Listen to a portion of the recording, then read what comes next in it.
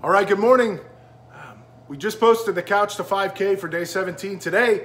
Uh, we also want to talk about days four and five um, of our consecration to St. Joseph.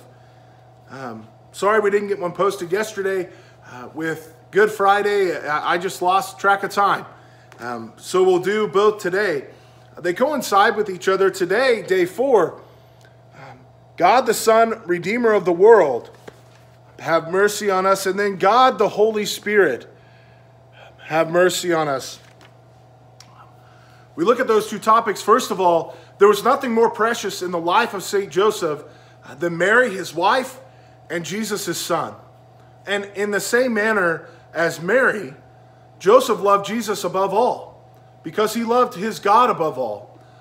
And his entire life was aimed at protecting and serving the Son of God so that Jesus could be allowed to fulfill his mission later on in life. The thing about it is, we have to remember Jesus was man, and we believe that he also, um, in a mysterious way, learned as a man. He had to learn how to walk, he had to learn how to crawl, um, he had to learn how to work with his hands to a certain extent, he had to learn um, human virtue, um, working hard, um, you know, living by the sweat of your brow, um, how to interrelate with other human beings. He chose to enter into man or enter into his humanity, and by doing so, he also chose to learn. But he also gave himself a, a cheat card because he gave himself Joseph. I don't mean that in a derogatory way, obviously, but Joseph is the most perfect man. Outside of Christ, there's not been a man that has been more perfect on this earth. But that was Joseph's entire role, and he picked it up well to teach the son, to let him learn from him, to give him everything that he needed to become a, a perfect human being, to suffer well in his humanity, to use uh, the gifts that um, his humanity had given him to be able to relate with other human beings.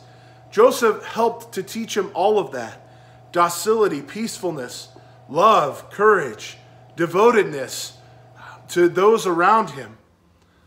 Joseph was all about the Son of God. Joseph was all about Christ.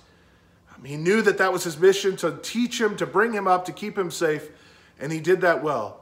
So we'll not find another man that is more devoted uh, to the Son of God than Joseph was and is.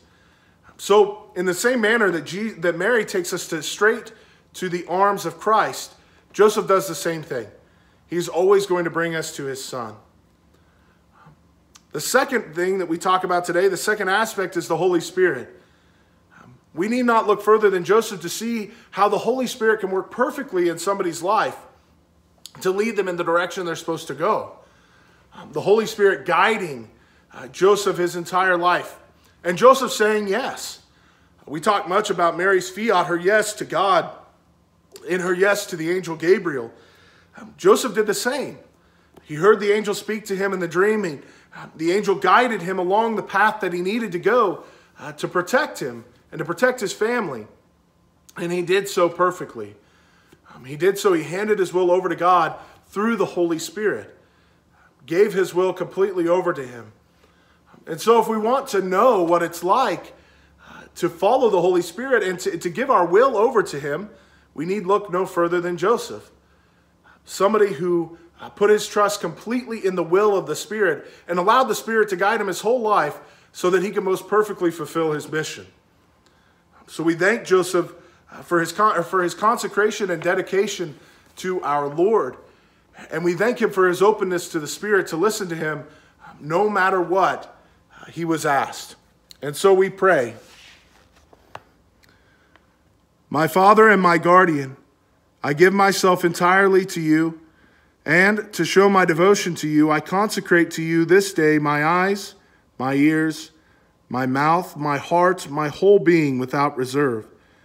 Wherefore, O good Father, since I am your own, keep me and guard me as your property and possession.